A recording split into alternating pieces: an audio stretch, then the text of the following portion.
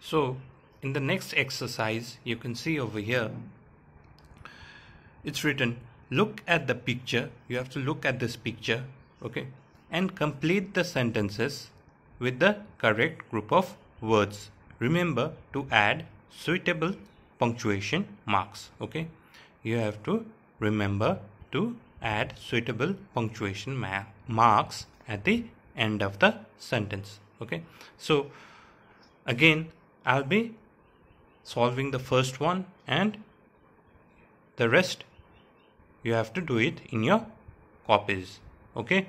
So in the first over question over here it's written are the children and the options that are given are playing in the park or playing in school okay? So when you observe the picture you'll see that the children are playing in the park okay? So first you are you'll write the correct option first. Playing in the park okay?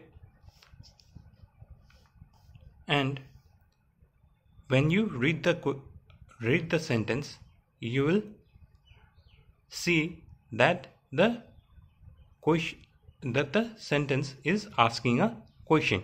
So you will put the suitable punctuation mark at the end which is question mark.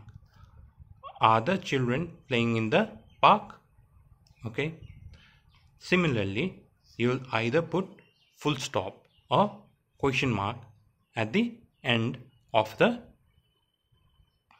sentences. Okay so uh, the punctuation marks that we have learned about till now is are full stop question mark and exclamation mark.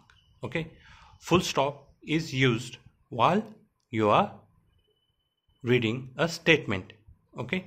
Or writing a statement.